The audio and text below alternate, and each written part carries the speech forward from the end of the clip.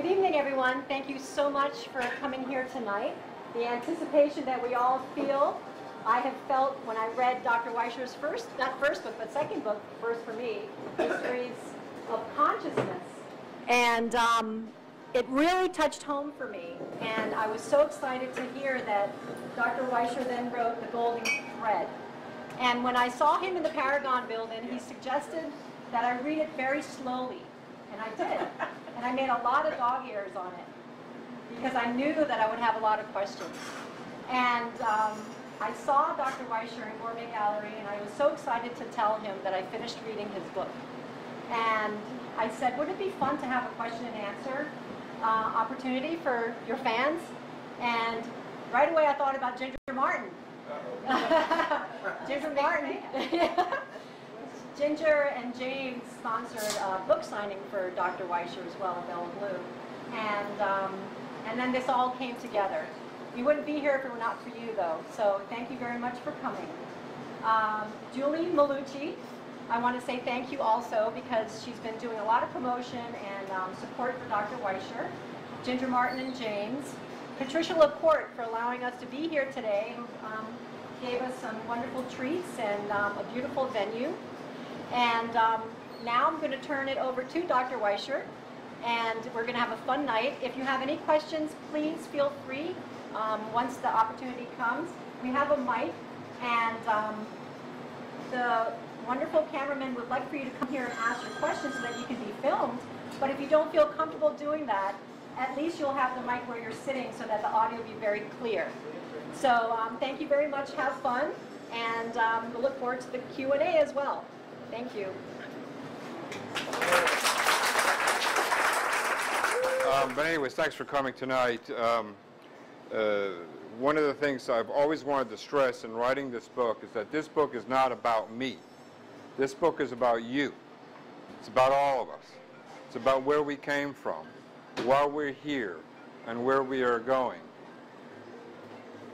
One of the things uh, for me uh, throughout my life is I had, perhaps somebody would say, the disadvantage, and other, I think it was an advantage, that when I was in school, uh, I was labeled mentally retarded, and I was taken out of the eighth grade and put in with special ed.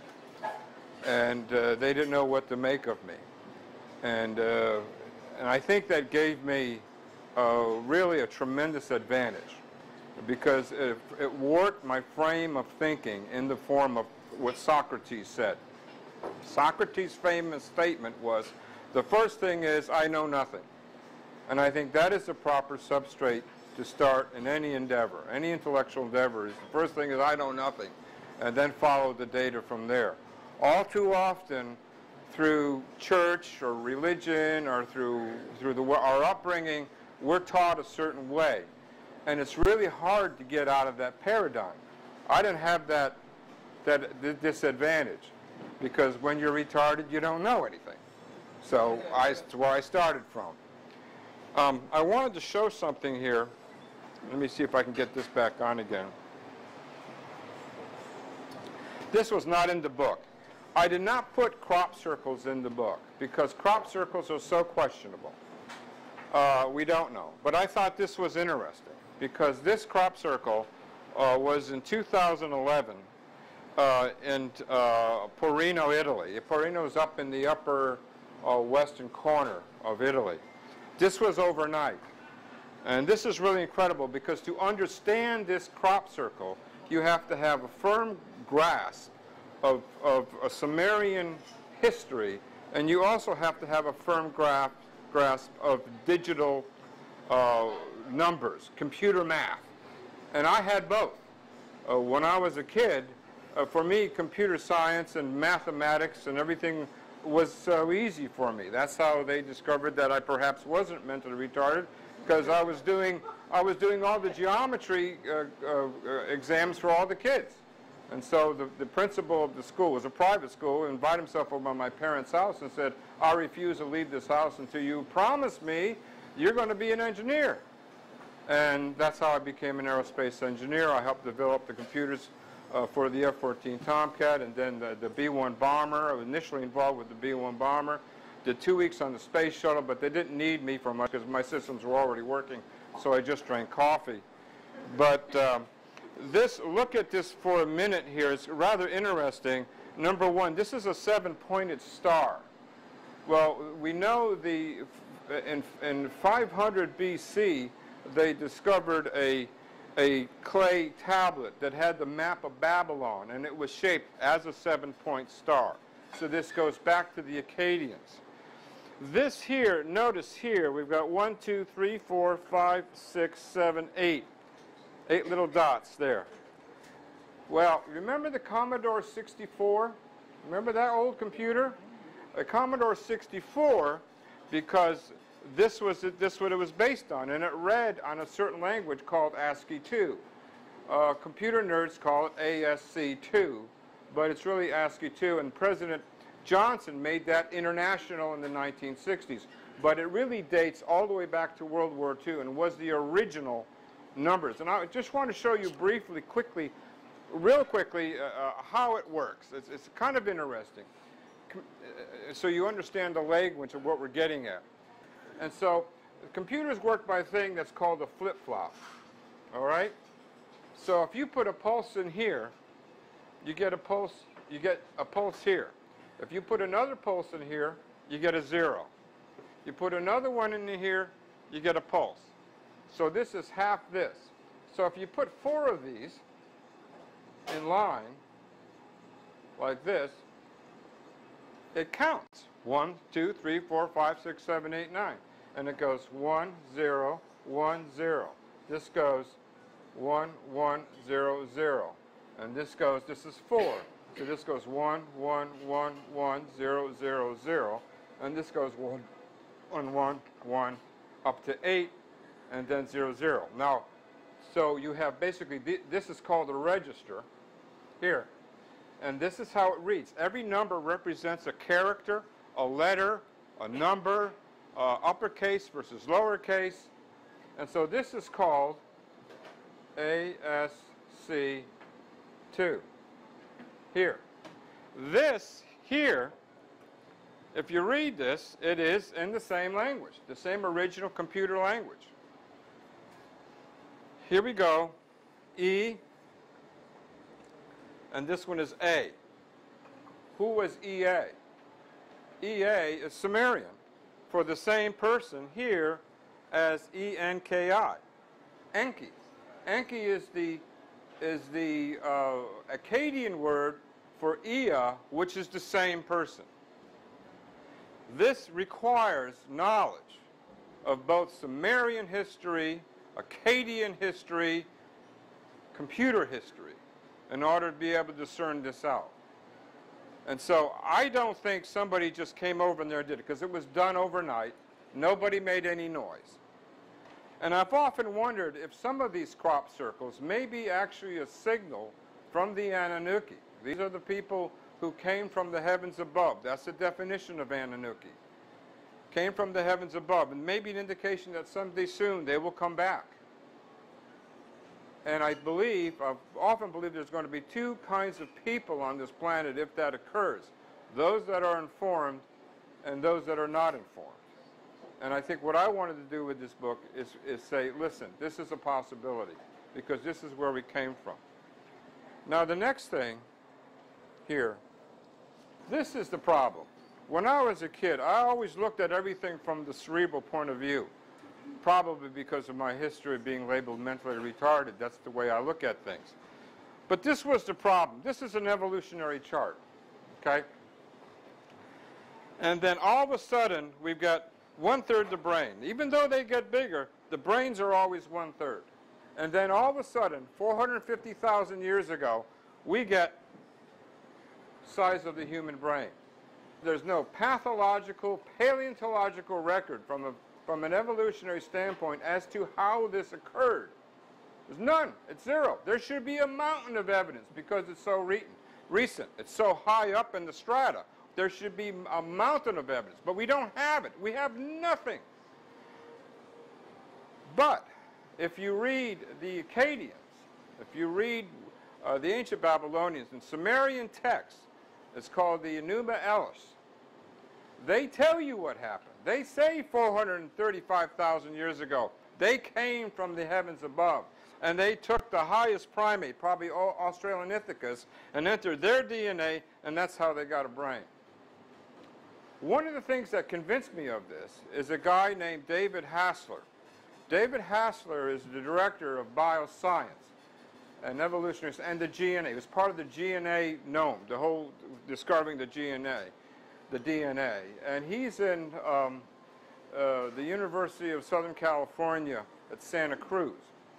He discovered the area of the DNA that is responsible for animal embryological development. Now this is great. This ought to be a, a really tell us a lot what's going on. Well, it so happens that it's on chromosome 20, and it's on the long limb of chromosome 20.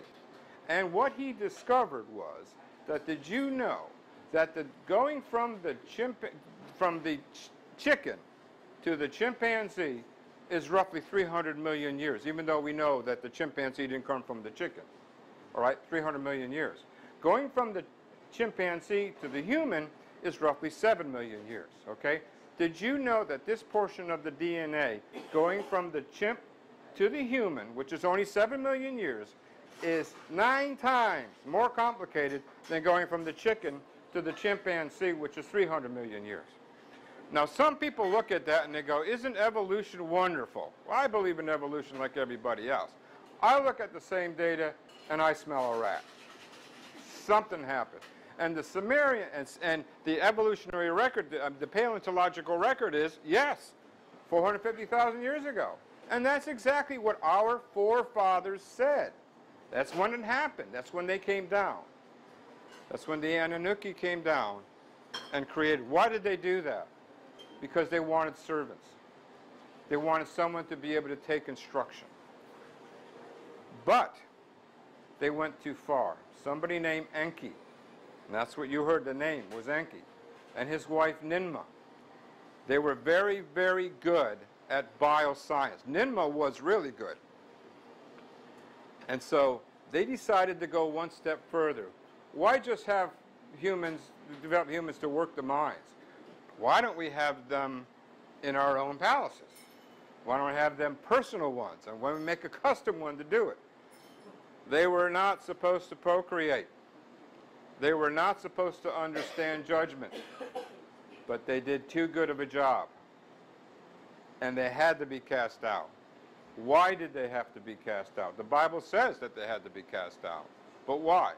The reason is that to the world of the Anunnaki, DNA is gold.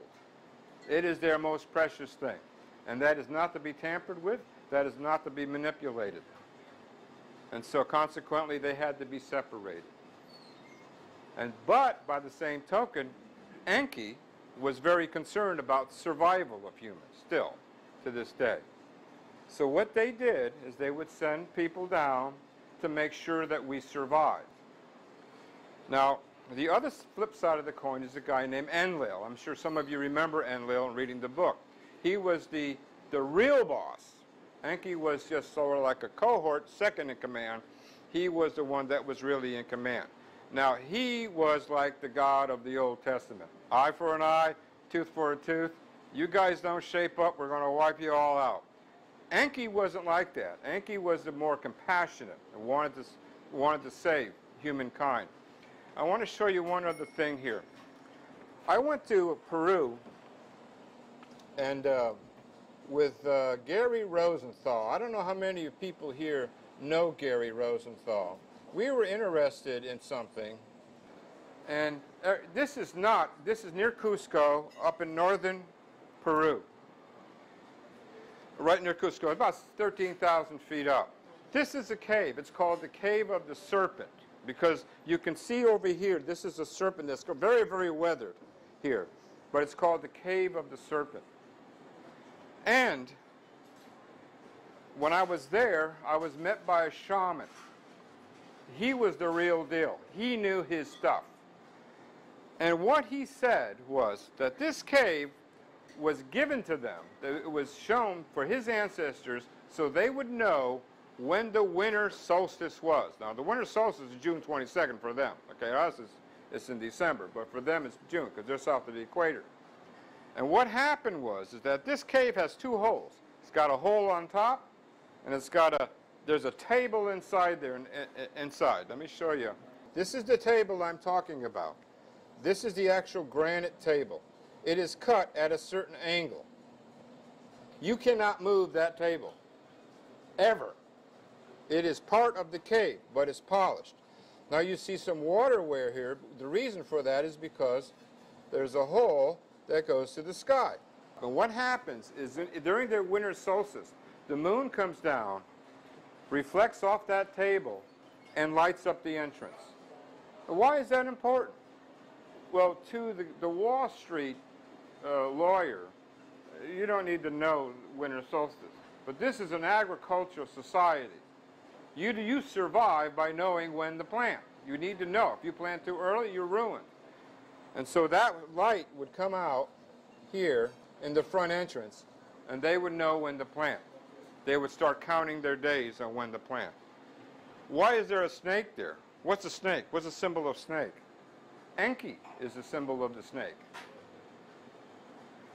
When you look over here to the right, you can't see it here, but he showed us that it's a face-on view of an elephant. There haven't been elephants in South America for over 10,000 years. So you know this is old. So you know you've got the snake. The snake stands for Enki. Enki, uh, actually, uh, uh, the ancient Sumerian text for, for Enki is, is, is this, but his name is Buzor. That's Sumerian. What does that mean? That means uh, the snake. And wise and of the metal minds. Same thing. Now, remember the, the Hebrew text in Genesis? And it said about the Adam and Eve?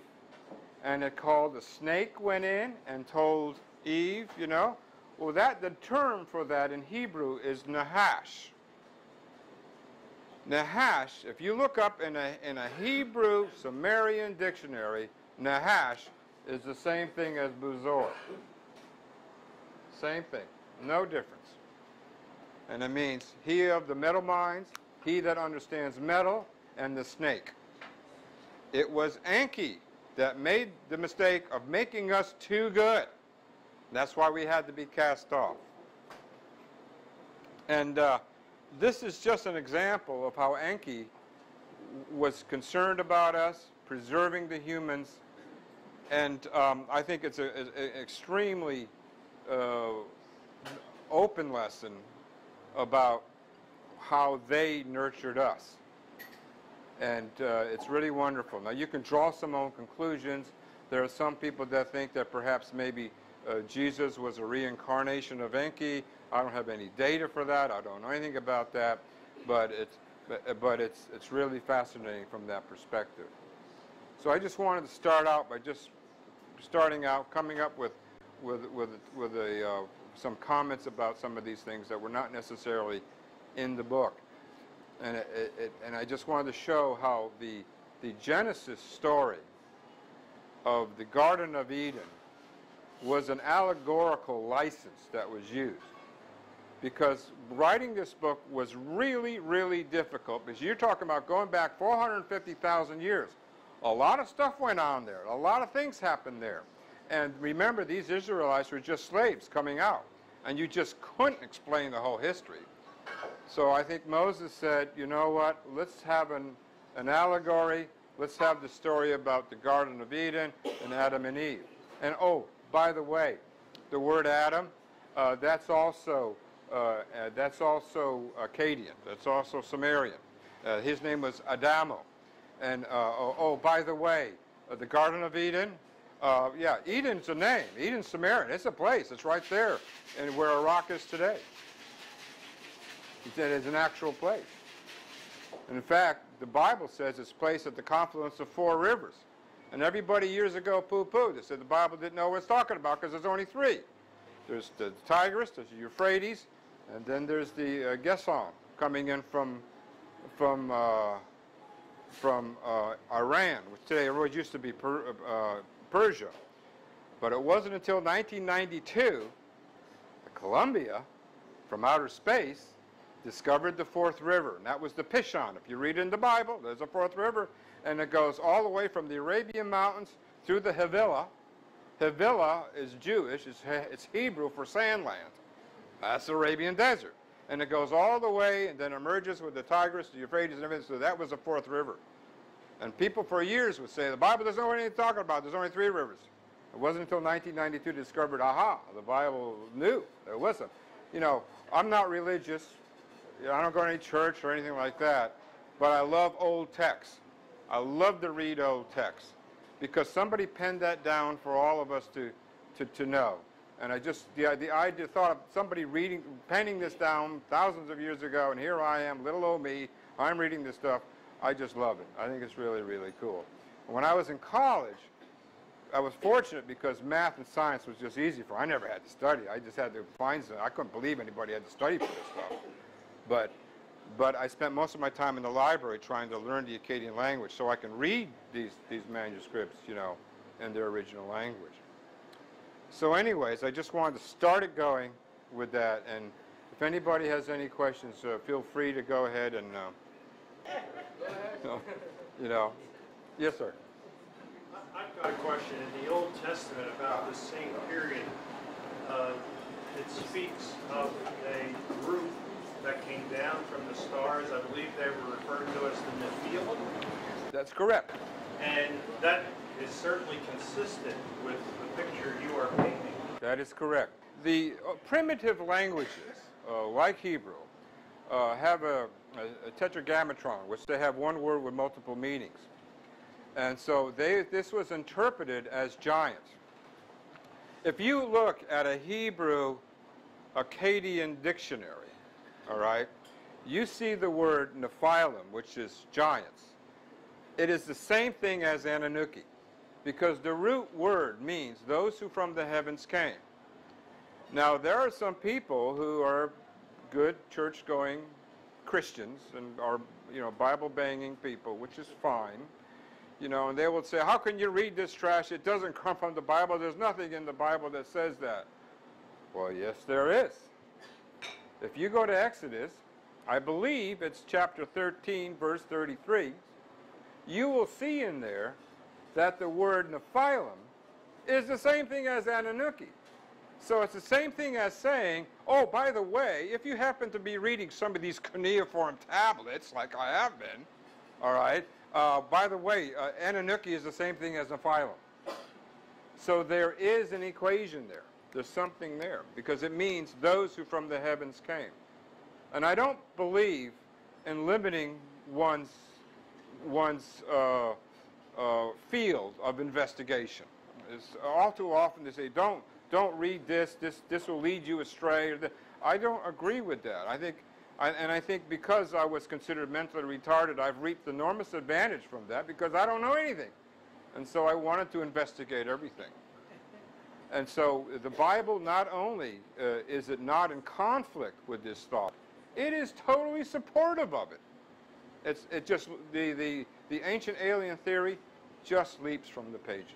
If I could just add one thing about the Nephilim, I believe that the Old Testament also says, and this is consistent with your genetic um, uh, thread, if you will, that the Nephilim had sexual relations with the humans of the era. That's correct, and uh, we can talk about that.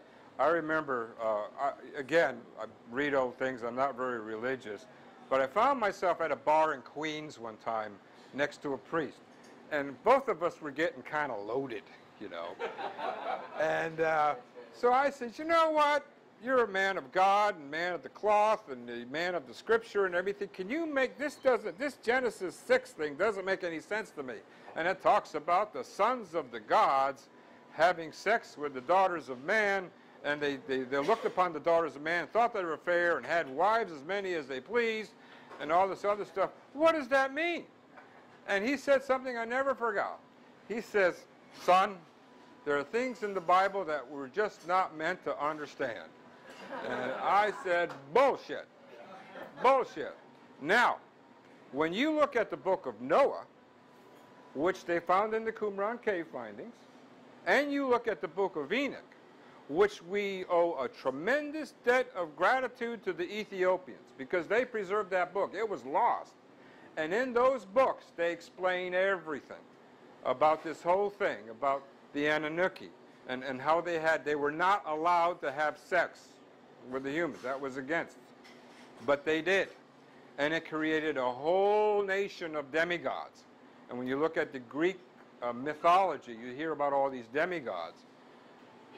That's where they came from. And that is the reason why they had to be destroyed, I believe.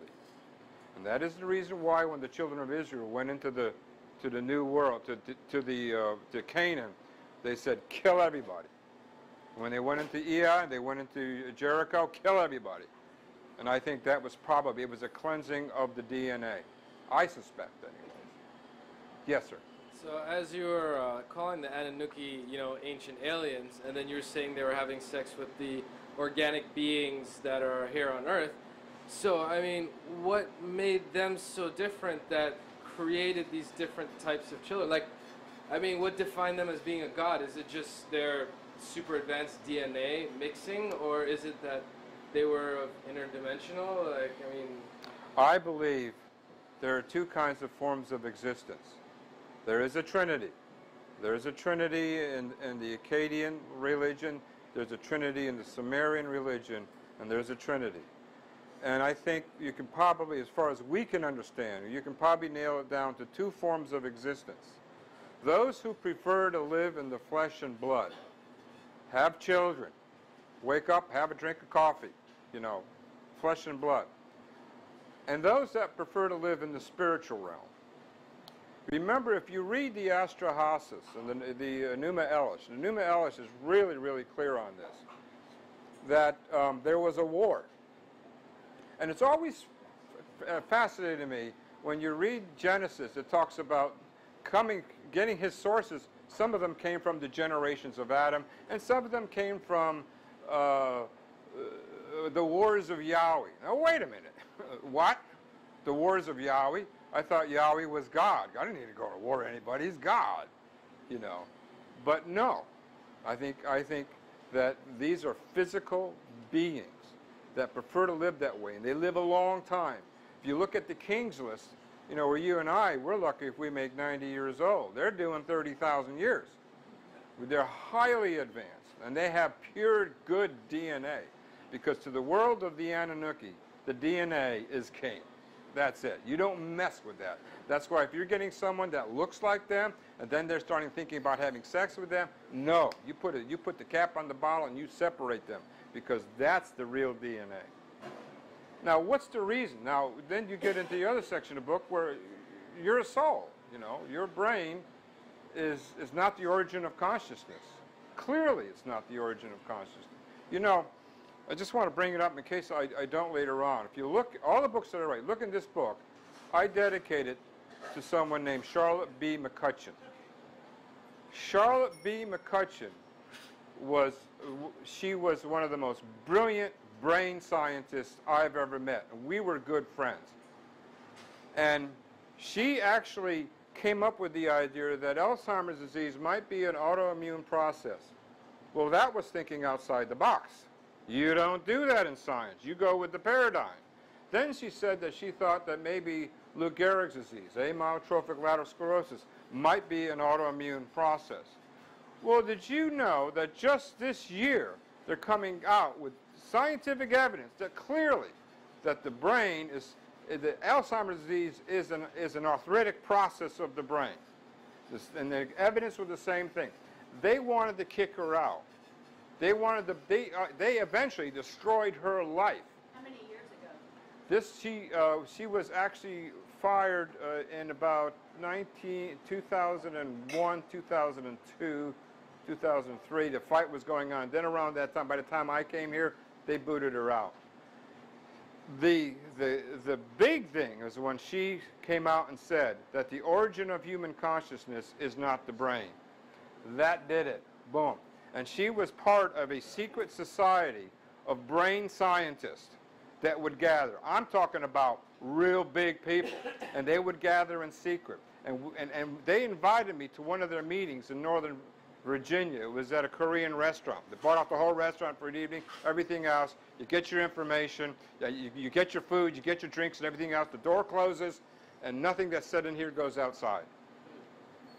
And we've discussed cases, I think I have some of these cases in my book, I don't know whether I did, that were just absolutely incredible.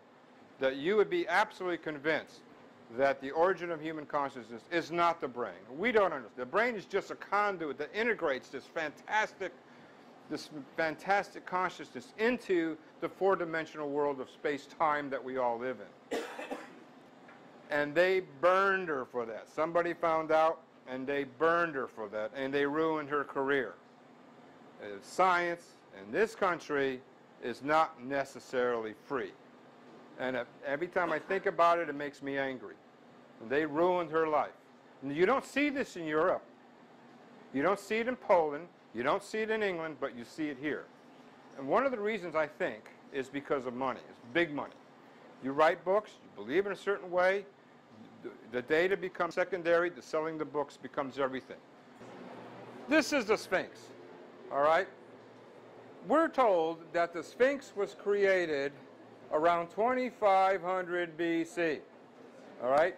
It's in the books. It's in all the books that are sold to the university. Look at that. Number one, look at the head. It's small, comparison with the rest of the body. Look how the head is so much in better condition than the rest of the body, despite the fact that the head is exposed. And has been shot. Finally, this guy says, you know what, why don't we get somebody who knows something about dating, date the Sphinx? Who would know about dating carved rock? A geologist. So let's go to the best e- geologist that we have in the world, probably, and that is Robert Schoch, Boston University. Went over there, spent a year dating this thing, doing a whole analysis. You know, the Sphinx spends most of its time in sand. He researched. Now he's got no bone to pick. He's got he's got no pri private agenda or anything like that. He dated the Sphinx, and he says, "No way was this thing built 2,500 BC. This thing is at least 7,000 BC, maybe 10,000 BC, an area of human history we don't have any knowledge of." Well, and he made his report in 1992 in the journal Nature, the American Association of Advancement of Science. I happen to still be a member of that until they kicked me out. but to this day, if you look at these, uh, uh, you study Egyptian history, you won't mention him. And by the way, he's not invited back to Egypt. Is the most one of the most brilliant minds. It- sometimes in academia, they're not really searching for truth. I I have no idea sometimes what they're searching for. You know, but there's no look at the look the weather here. Is the, it was rain. It was rain where? It was on the Sphinx. Now, it hasn't rained in Egypt in a long time. They get their crops by inundation from the Nile. So by doing so, he realized that, you know, the history needs to be rewritten, and they refused to do it. That's it. But his name is Robert Schoch. It changed Robert Schoch. Now he's really investigating a lot of these other enigmas. And he really is doing a wonderful job uh, with that. Any other questions? If the Nephilim were here at that time, and you're saying Enki and his wife had bred with the local fauna, would that have been, you know, like Neanderthals, right? I mean, why why would such a superior race want to have sex with, like, you know, gorillas? I mean, basically, it was kind of. Well, they weren't gorillas. They were humans. So you're. They were human-like. Hmm. They were they were human-like. They weren't they weren't Neanderthal. But still, that- it's just odd to me. You know, I mean, I could see where they were trying to try to make a race to work for them and mine gold or whatever was so important to the Anunnaki. But um, what, was that their breeding base? what, what did they take it from? Was it the Neanderthals that Well, were roaming around? you read the scripture, and the scripture says, they looked upon the daughters of men and they were fair. They must have been pretty hot looking. Yeah, it must have been, you know? I mean, it's- No, I mean, that- never underestimate the, the value of sex, you know? Yes, yeah. probably my teenage years, I, I read something, an article, um, where we're going to just look at the UFO. I, I don't remember adding the names or anything. It was uh, one of the theories uh, was that we had people in the future studying the past. So I think that's probably where we can get the DNA. That you know people in the future probably have higher intelligence level than we do, and uh, going to the past, maybe going way back in the past. And um, if we were going to look at them, um, if you're saying Neanderthals um, or, or lesser being, they probably would look at them as godlike, especially if they have high intelligence and stuff like that. Have you um, come across with any of your colleagues or anybody that studied that? Because I can't seem to find that article. I can't even remember it. It was, it was, it was I had come across it because I was doing some kind of research, but it wasn't. Um, I, I think at the time I was doing Vishnu and reincarnation and stuff, and I, I came across that because it was um, at the time they were doing the, uh, the the popularity of oh we're spotting UFOs and stuff, Yeah. and that was one of the theories that. And that's a good point, because you're talking about are these people so advanced that they can jump time? Mhm. You know, that, that, that we're looking at our future and they're coming down to investigate us.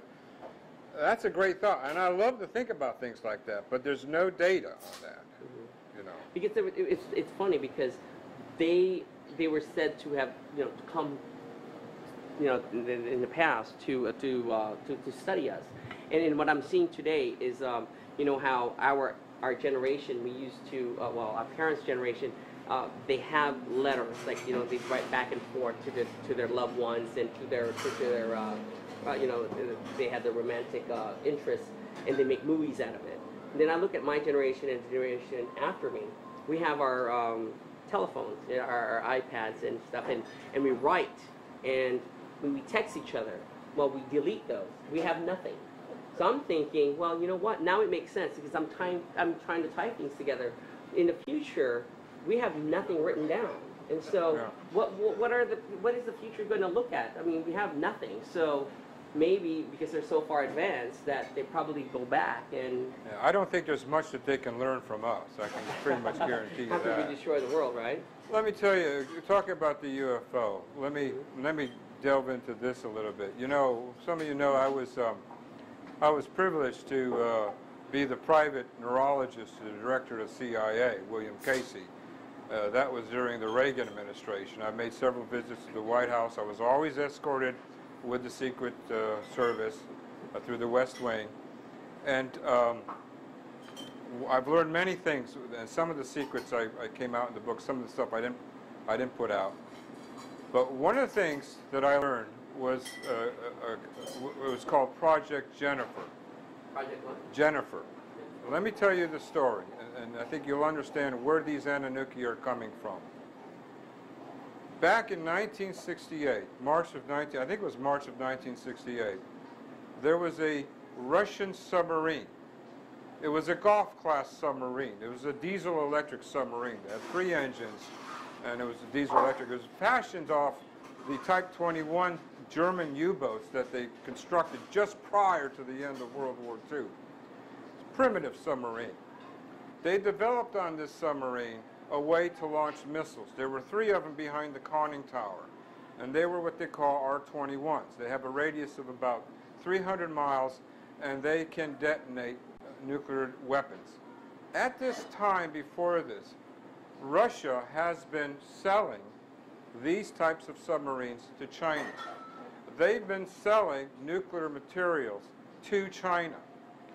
Now, many of you may not realize that in, in the Soviet Union during the time of Brezhnev, Brezhnev did not have absolute control of the nuclear weapons. It was the KGB that controlled the nuclear weapons. The Secretary Generals have been very concerned about this ever since Eisenhower. So they went to us, starting with Eisenhower, then with Kennedy, and then with Johnson. And they said, can you help us with a fail-safe mechanism so that if they try to fire these things, something, they won't fire or they'll blow up. Now, you can get to a nuclear device and you can attach an explosive to it and it, it, it, it will not detonate.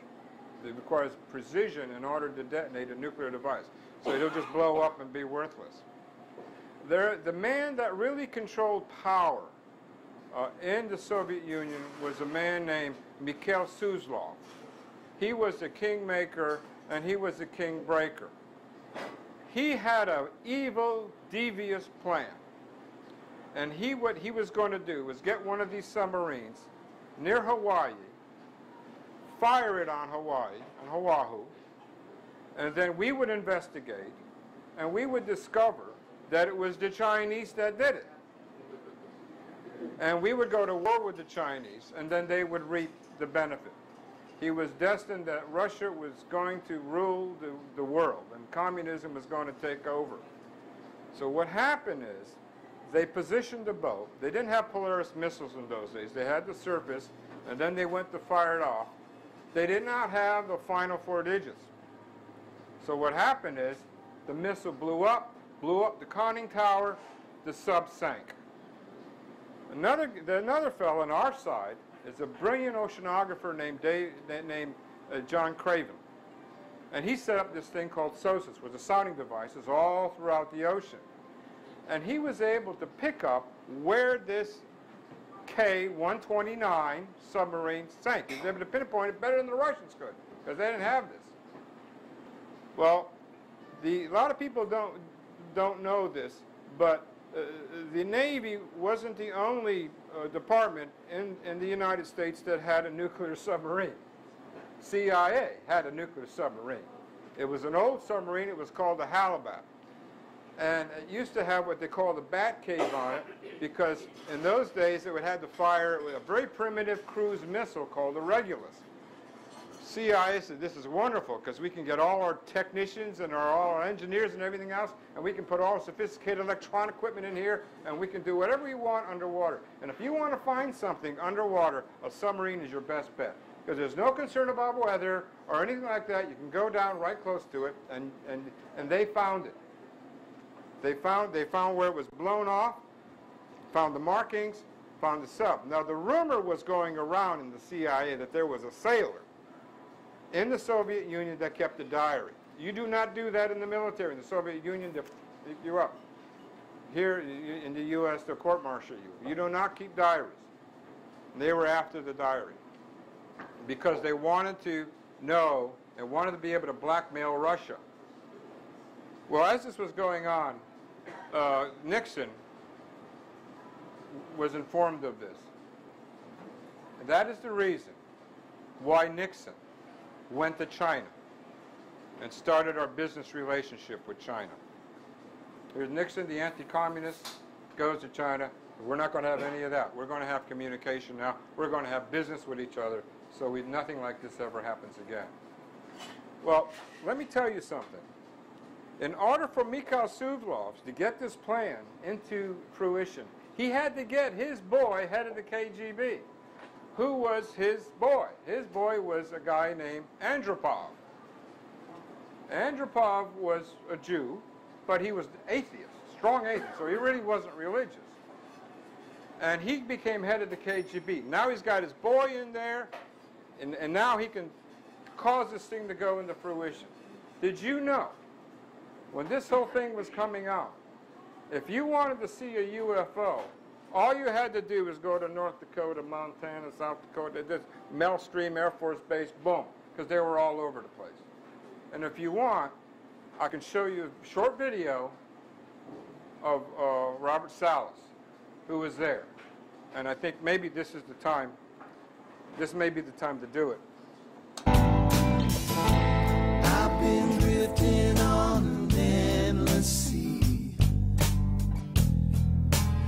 No place safe to land. Good afternoon. My name is Robert Salas. In uh, 1967, I was a first lieutenant uh, stationed at Malmstrom Air Force Base, Montana. I was a missile launch officer. Um, and in, in March, on March 24th, 1967, I was on duty at uh, what we called Oscar Flight. It is a uh, underground capsule uh, hardened site uh, about 60 feet underground. We had uh, security guards topside. Uh, the main guard is called a flight security controller. Um, my commander at the time was uh, Lieutenant Fred Meiwald, now Colonel, retired Colonel Fred Meiwald.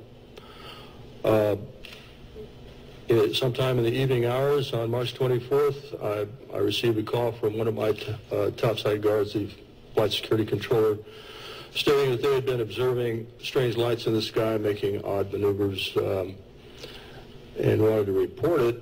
Uh, I thought it was kind of a strange report, but uh, I took it seriously. Uh, you have to understand we were protecting nuclear weapons, and uh, we uh, the reports we generally got were very professional. Uh, at any rate, uh, I kind of dismissed the call. He called back uh, about five minutes later. This time he was screaming into the phone saying uh, they're uh, looking uh, at an object, a red glowing object hovering just above our front gate. This object was about 30 feet in diameter.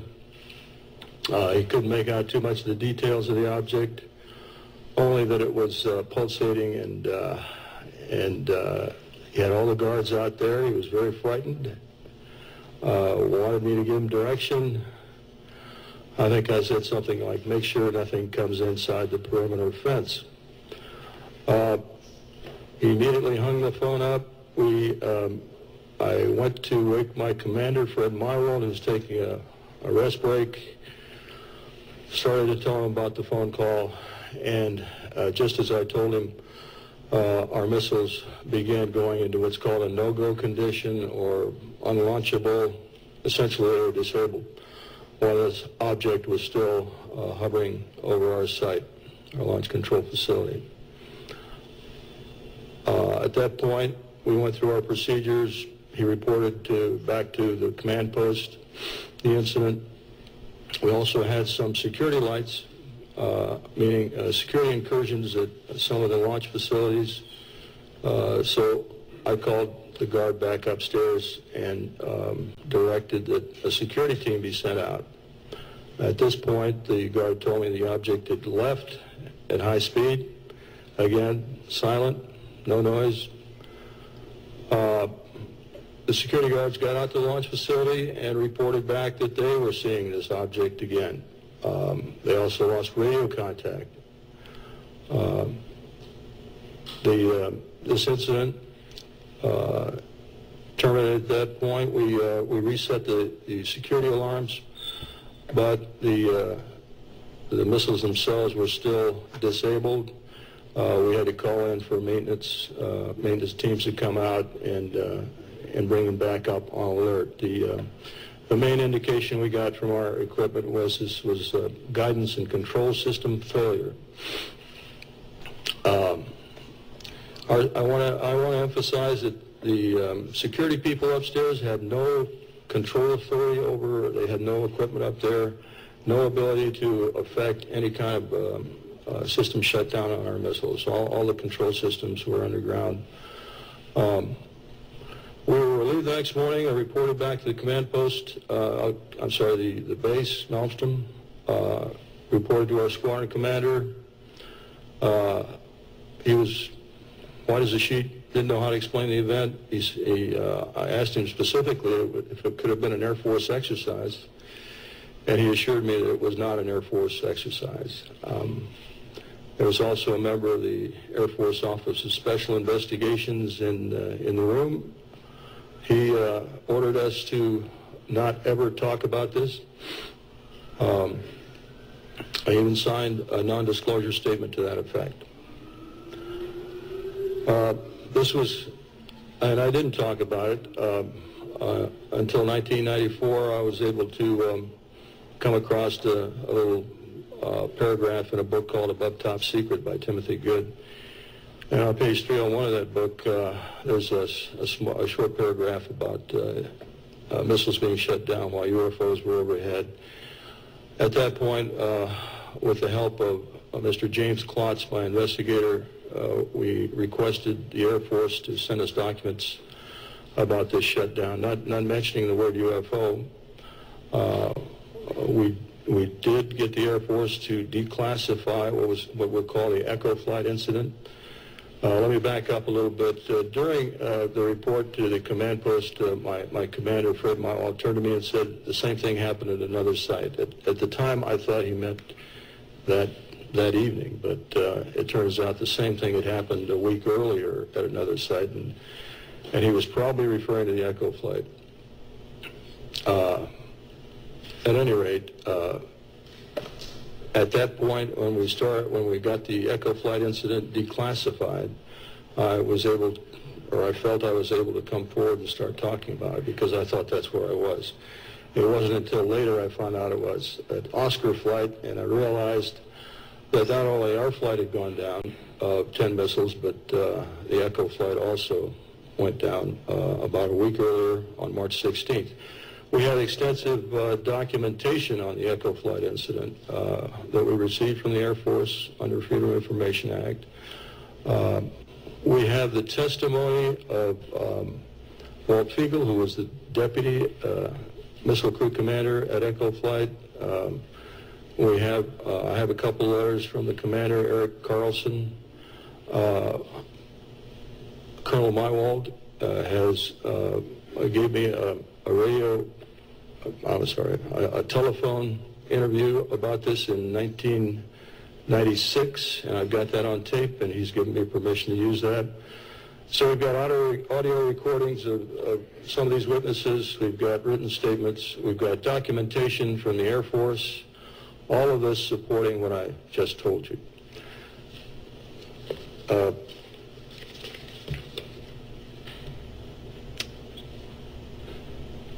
I'll have more to say a little bit later about um, where I think we should go from here, but right now I'll turn it over to the next speaker. Where I'm heading is a mystery. I'm shifting like the sand. You know, what's the lesson from this? What is it? You're exactly right. You hit the nail on the head. This is this is not our planet. This is their planet. We can do what we want. We can pillage. We can destroy.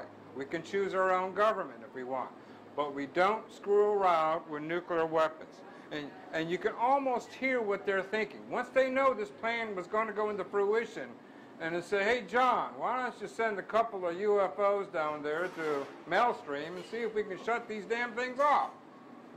And that's what, you know, once you, once you spin down a missile, it takes 24 hours to spin it back up again.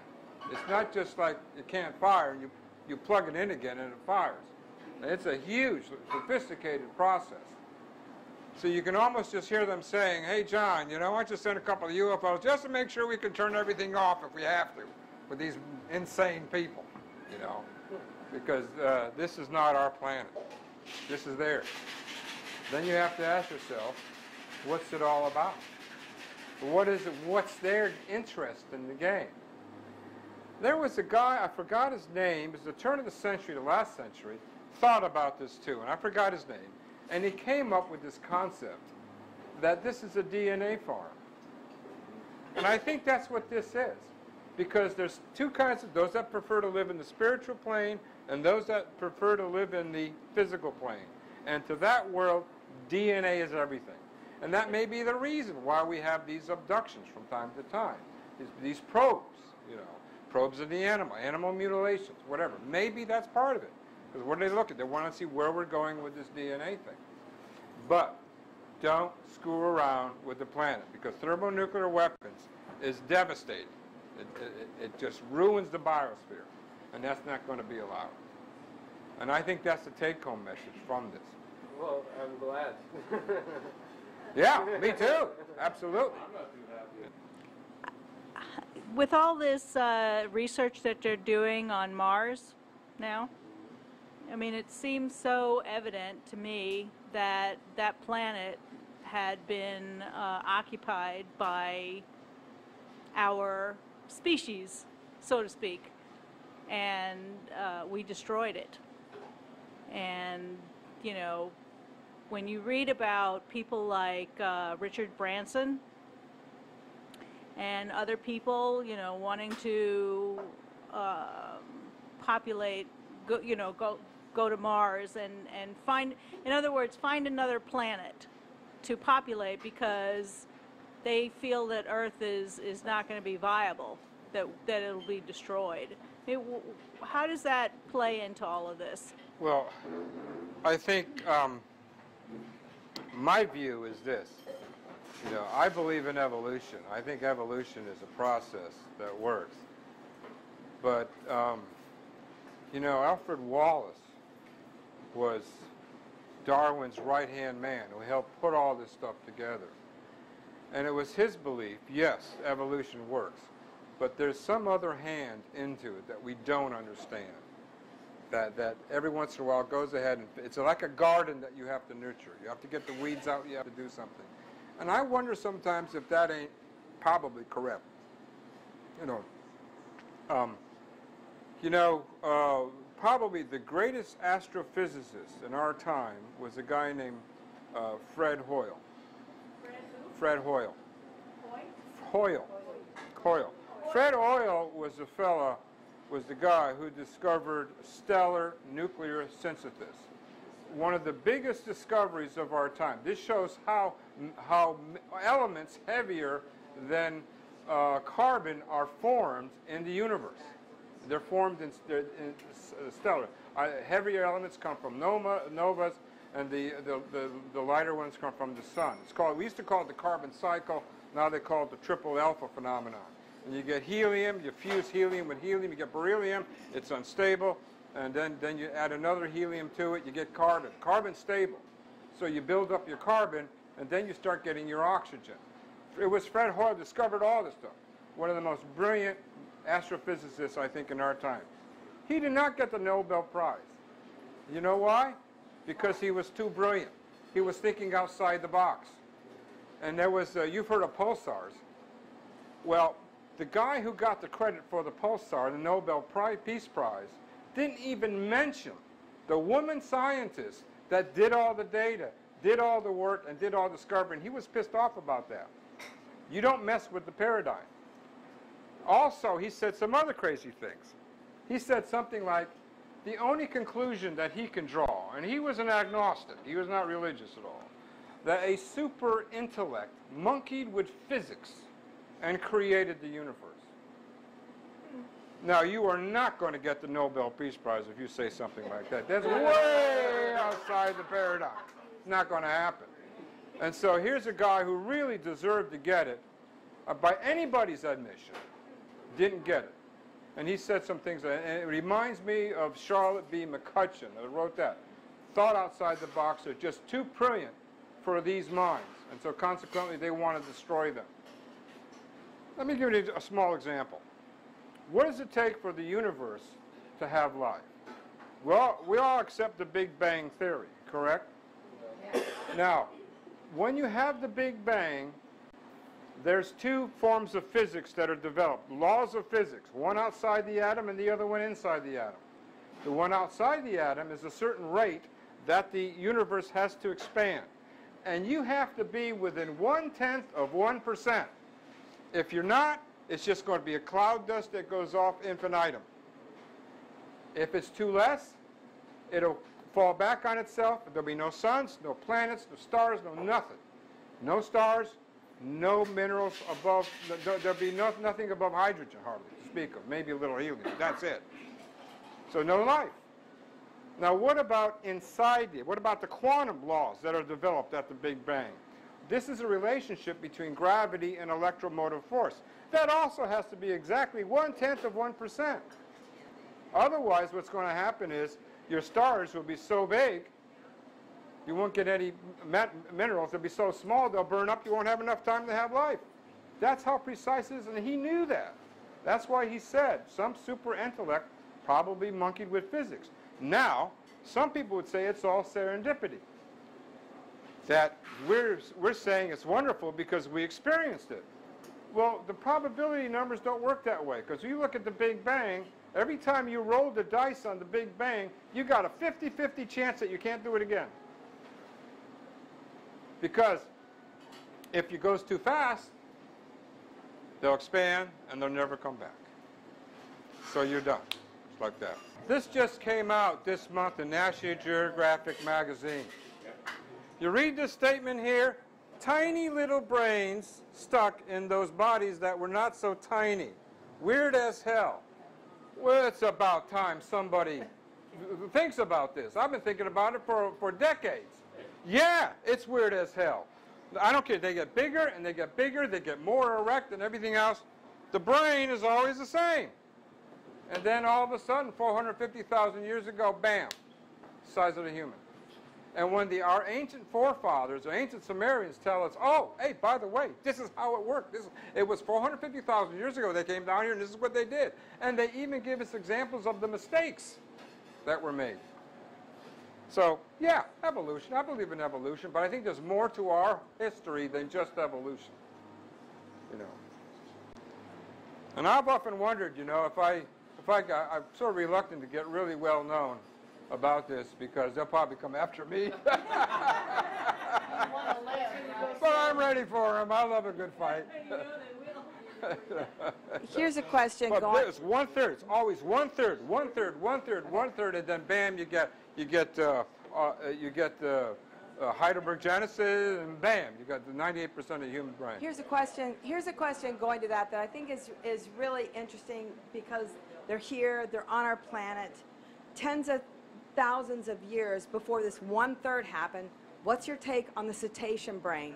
Because the cetacean brain had the cranial capacity that it has now tens of thousands of years before this one-third happened, and they had the convolutions on the brain that in, in neurological science, I mean, you may dispute that, but that said that was, that was a point of intelligence. And so tens of thousands of years before we saw any growth, they were there. And, and, and it, I'm been fascinated with cetaceans since I was 10 years old, that they have to lower their voice four, five, six octaves for us to even hear them. And they live in this in completely different world that we do. And they have these gigantic brains, and they don't have to build anything. They don't have to do anything, but they're so incredibly social. So what? How does how do the cetaceans on the planet fit with this idea of, of, intelligence? You know, I think there are probably other realms that we don't understand, and I'll be always open-minded. For instance, there's this pit that was um, fossil pit, in Texas, and here you got dinosaur tracks, and right next to it you got tracks that look like primate, human. Well, go figure. And it can't be fake because there was discovered there was a huge uh, sandstone over it that had to be broken apart and lifted above, so nobody can go in there and fake that. You know, so go figure. Is, was was this planet a penal colony? You know, did they just take bad people that they didn't like during the dinosaurs and say throw them down here and say uh, you'll be food for dinosaurs? I don't know. I believe that. I don't know. You know. But, but the You know- point is, the point is, it's like, how, how do dolphins and whales, with their enormous, much larger than us, their brains, Yeah. and since you're a uh, you know, a neurologist, how does that fit in Well, to, it- to the scheme yeah. of things with, um, with the rest of the uh, life? Well, people, animals, es- es- especially mammals, are adapted to their environment. I dissected a, a porpoise brain one time. I was truly amazed. But one thing that I learned from that was the porpoise brain has a huge occipital area. It is monstrous compared to our own. And I really uh, realized then and there that when they emit a sound, they see it. Right. They actually see it. And, and so they have a big brain because of that. Now, some people would ask, how is it that a porpoise can go down 500 feet and hang around for a long time, and then he comes back up to the surface and he doesn't get bent? Right? He doesn't get the bends. If you do it, you'd probably get killed. Well, the reason is, is because in a porpoise, their lungs collapse. So they're not introducing any more gas under pressure into the bloodstream. So they can stay down there as long as they want, and they never get bent. It's a wonderful adaptation of, of, of evolution. But it's, it's, it, all this stuff is very fascinating, no, no question about it. But I think, I think the, uh, the human consciousness, let me give you another example. Uh, I was reading one day uh, the, the journal Nature. The journal, the editor of journal Nature is a guy named Gee. He's, uh, he is a, uh, an evolutionary biologist, very interesting fellow, very bright. They're starting to believe now that the advent of speech and language in the human brain didn't come about until 50,000 years ago. Well, how did that happen? Well, what happened shortly after that, or before that? It was the Toba catastrophe. Toba catastrophe. That was that was in Sumatra, and now they call it the Toba Lake. It used to be a mountain, blew up, entered in another nice little ice age, killed off almost all the humans. There are only about a thousand, no more than 10,000 left. And then after that, you start developing language. How did that happen? Well, it's called the founder principle. Okay? Founder principle means let's eliminate these people, and then let's manipulate this gene, and then that's what's going to grow up. That's called the founder principle. And I've often suspected that maybe that's what happened. They thought the language wasn't really evolving fast enough for them. So then they detonated this, blew it up, killed off everybody except for a few, manipulated the genes, which is the FOX gene for language. It's a very complicated mechanism, language, because you have to have the proper throat, you have to have Broca's areas, you have to have Wernicke's area of the brain, all developed so you understand speech, and then you can enunciate speech, and then you can phonate speech. It's very complicated. And then all of a sudden, 50,000 years ago, boom, we have this. You know, and so it's, it's, a, it's food for thought. It's nothing proof, nothing like that, but it's, a, it's, it's interesting to think about. Yeah, go ahead. So I mean, ju- ju- we're going with the uh, you know the concept that you know we're seeded, right? You know our DNA seeded. You know they've upgraded our DNA. Why why why a focus on speech and why not just telepathy? Is there something you know powerful about speech? That's why they wanted to make us perfect it. Well, I think speech is a lot easier. The speech is the world we live in. It's a 3D world that we live in. You know, X, Y, Z, and time. Then how would you And- know and- different other animals like? For example, many birds or, or fish, you know, they all swim together and they all fly together in flocks. And Yeah. I mean, it's so coordinated without them physically speaking to each other. Yeah, yeah. It's amazing. I don't know. I don't know. I don't think anybody understands that. You know, the, the turtles migrate across the ocean. And the, the current running theory is, is that at one time, you know, the South America was aligned uh, with Africa and it was just a stream, it was just a river. And so they would go across the river. They kept doing it, doing it, and, and expanded, expanded, expanded, and then they, they were going across the ocean. You know, you know, maybe, but it's amazing. No question about it. It's amazing.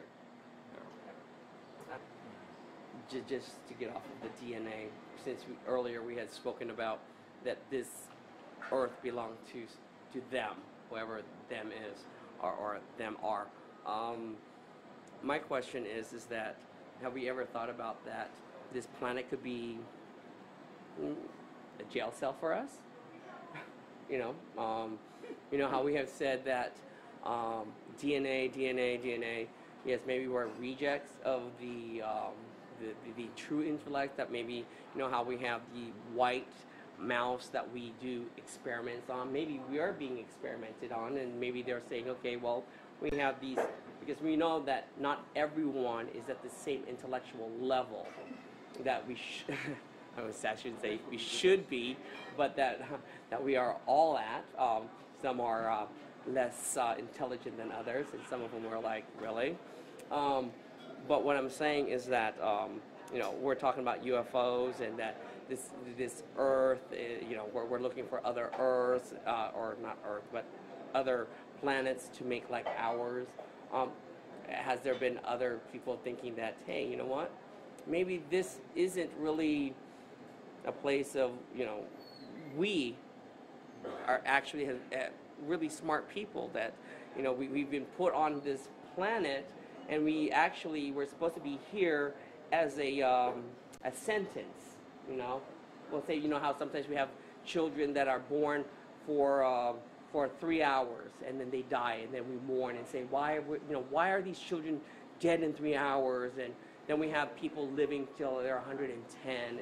Maybe that's their sentence on this Well, earth. I'll, I'll tell you, the, the, that is precisely the reason why, when you have this equation, you have to include with it the origin of consciousness. Because without that, you're going to go nowhere. Once you realize that you are not your brain, that you are something else, it's a spirit. You're maybe even older than the universe, but you're sent down here to learn, to experience things, and that way your character grows. And I'm absolutely convinced of that. Because when I, I was very fortunate when I had a practice in Maryland, I was busy.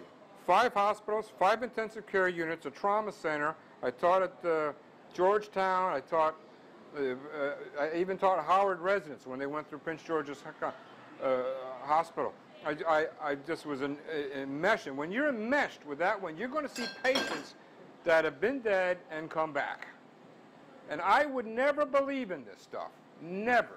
But I had one, one patient of mine that changed my life. I won't give you his name, but he changed my life. His first name was Walter, but I, that's all you're going to get. one day he was walking down the street and he had a cardiopulmonary arrest. That means his heart stopped beating. That means he stopped breathing. That means he was dead. Now, he goes, he, he, they sent him over to Lanham, the doctor's hospital, Lanham, Maryland. I was the vice president, of, vice, the, the, actually chairman of, uh, the vice chairman of the board there. So I get called, he's in a little cubicle, dead as Caesar, all right? Finally, we get the heart going. He's still in coma, and we send him up the intensive care unit. Gradually, a few days later, he regains consciousness, right? So I did a CAT scan of the brain. I normally don't do CAT scan of the brain with contrast because I don't know this guy could be allergic to it. It could be fatal. So I do a non-contrast CAT scan of the brain, clean as a whistle, brain is fine, no problem. So he finally recovers as the time goes on. And he was discharged about a week, 10 days later. I said, we're going to get an MRI of your brain. I'm going to see you in my office. So he goes over, gets a contrast MRI of the brains. He comes back with his wife. His, wife is over here. He's sitting over here. He says, Dr. Weisher, I was dead. I says, I know you were dead. Everybody knows you were dead. You were there. You know, got your heart beating and everything else. He says, you don't understand. I was outside my body, and I saw everything, you know. And he described what transpired inside this little cubicle. Then he said, I saw a light at the end of the tu- a light. And I said, I felt this desire to go into that light. And so he did. And he went into that light faster than the speed of light. Then suddenly he finds himself on this beautiful landscape. And so I'm thinking, bullshit. You know, uh, your brain's playing tricks with you. These are hallucinations. This is not really the real deal. He said something I never forgot. He says, Dr. Weisher, I'm older than you. That means I've had more dreams than you've had. This was no dream. This was more real than you in front of me now. I asked questions, I received answers. And he described it. He said there was a beautiful mountainside to the left, there was a stream coming down in the center, there was a bridge over the stream, there was a huge tree on the other side, and he saw some people standing there. So he thought, oh, I'm going to go over there and visit these people. Turned out to be his dead father, his dead uncle, and his dead brother. And they were all going, high five, how you doing, you know? So this guy comes up and taps him on the shoulder. Now, I'm not religious, okay? This is nothing, but this happened. He tapped on the shoulder, he turned around, he looked at him, and said, who are you? I don't recognize him. He said, my name was Jesus. He says, well, I'm sorry, I don't believe in you. He said, well, I was a historical figure. And I want you to know, we're all proud of you. Because by virtue of the fact you didn't have any religion, you were honest in all your business dealings. And everybody's just tickled pink and proud of you on how you lived your life. And it turned out that Walter was a very, very wealthy businessman. Made a lot of money. And one of the reasons why he was honest in everything he did. And he was a real estate developer worth millions and millions of dollars. So he's sitting here telling me this story. But he says, you know, my brother that died was a sailing fanatic. His whole life was sailing. So he says, yeah, I want to come over. I want to show you my sailboat. So he goes over and shows him a sailboat. And he says it was about 120 feet long. And he's looking at the lifeline on it. And it's a rope. And in the grooves of the ropes were diamonds and rubies and sapphires and all kinds of stuff. It was absolutely incredible. So he told me his brother was sitting there with his hand on the wheel like this. This is like a racing wheel. And he told his brother, he said, this place is really cool. I really, really, really don't want to go back to Earth. Okay, this is really cool. And his brother told him, you have to go back to Earth. You have to tell this story. But don't worry, you're only going to be in the Earth a short period of time because you're terminally ill. You're going to be coming back. And he thought to himself, yippee, I'm terminally ill. cool, you know. This is a true story. He's telling me this.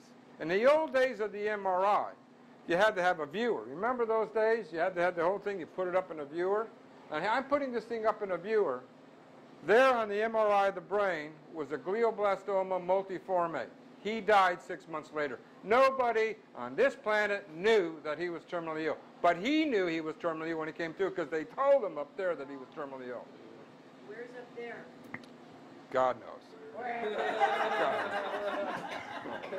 Hey, Dave, God knows. Dave, you told me stories about somebody flying out of the window in the hospital up, up in the States and telling about shoes out there that they would never be able to see if they, not, if they were lying in a bed and all that stuff. You told me stories. There's so many good books. There's Brian a lot of stories. Many Lives, Many Masters. Right. There's Excellent book. Weiss- Yeah, excellent book. There, uh, and Paul Anderson. If people really want to know about that thing, there's really things afterwards. There. And Beyond right- your book is some of the other books Yeah. that they can read. And right now. There are brilliant minds that are coming with this very issue. Something that Charlotte McCutcheon's, Dr. McCutcheon's life was ruined over. And we've got people like Roger Penrose. A lot of people don't know Roger Penrose, but they know Stephen Hawkins, right? Roger Penrose is Stephen Hawkins' right-hand scientist. They work together. And he believes now, they concluded, that the origin of human consciousness is probably quantum mechanical. But fortunately, thank God, they can't touch him. He's way up there. And so, uh, so also uh, Stuart Hameroff. These are brilliant, brilliant minds that are coming to this, finally, the same conclusion that the origin, that the brain is this mushroom thing we call a brain is nothing more than a conduit between this other world we know nothing about and this world that we live in now. And I think that uh, I think the evidence for that is compelling, and that's why I had that chapter in the book. And I also had the chapter on reincarnation because once you once you understand that that the brain is a conduit, then reincarnation is not that far. You know, remember Voltaire, the famous French philosopher, said, "It's no greater miracle to be born twice than it is once." So, what is your theory on gaining, I was again, knowledge, you know, outside of self? You know, since, I mean, knowledge being nonlinear, you know, tapping into an external knowledge base and, I guess, gathering information you would have not known from reading books. Uh, do you understand what I'm saying? Yeah, uh, being quiet. I did that. I tell you, a lot of this stuff started to make sense for me. And you don't have to be practicing Buddha or anything like that. It's just being quiet. A lot of this stuff was at in April, April Newland's house in, in, in, uh, in uh, St. Bart's. Sitting over there, having a glass of wine, smoking a cigar, having all the manuscripts, watching the waves come in. I think, I think certain spaces, places are quite spiritual.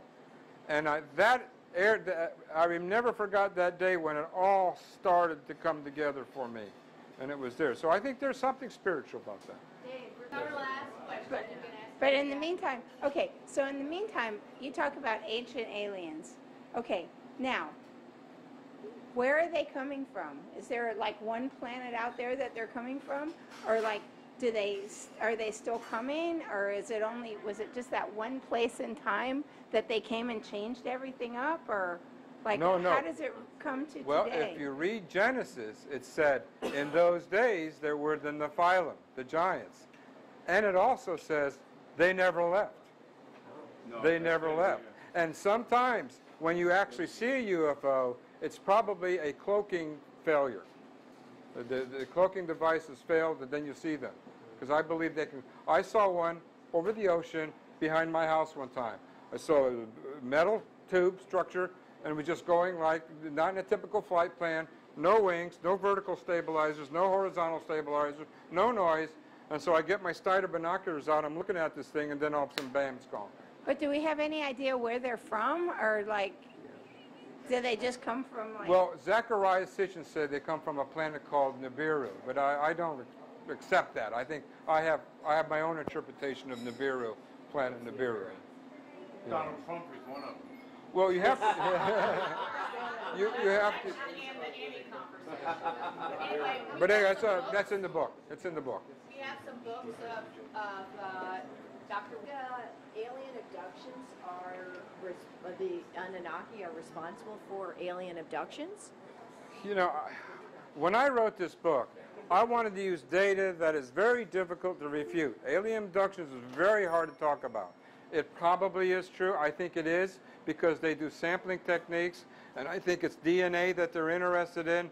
So I, I, don't think it's that far-fetched. biologists, that's what we do, is we Yeah. tag things and then we periodically recapture them Yeah.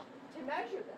So to me, it makes total sense that if you have implanted something in somebody, you Right. want to periodically recapture that person. And you may be absolutely and entirely right. And, and see what the data show. Yeah, I think you may be absolutely right. Yeah.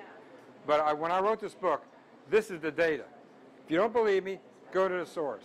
But I, I wanted something small that everybody can read and, and be absolutely almost irrefutable. And you can read, it's big, big letters. I wanted to say something. I wanted to thank you for the courage as a scientist and a physician to do this research and make it public. Secondly, I, I've done a lot of.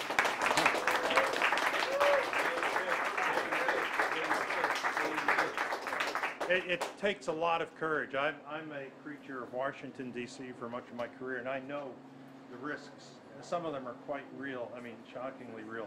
Secondly, on this alien abduction issue, um, there has been a lot of work done. A premier um, researcher in this field was Dr. John Mack, a, a uh, physician and psychiatrist at Harvard. They tried to kick him out, but, but in any event, he has, th- there are some very interesting things that are very consistent with the golden thread that has come to light by people that experience so-called alien abductions. They have had, number one, sexual encounters with, with these creatures. Number two, they have seen hybrids, human alien hybrids. Number three, that it has been told to them that this is all, Earth is like a school. And then also, they have said, when people say, well, what gives you the right to, to put me on a laboratory table? They, they say cryptically, we have the right. And so, you know, to me, this is all, you know, consistent with the golden thread and the idea that, that uh, you know, whose planet is there? Who are we? I, I don't know. But I want to thank Dr. Weisher for writing about it. Well, if, if they come after me, I'm ready for them.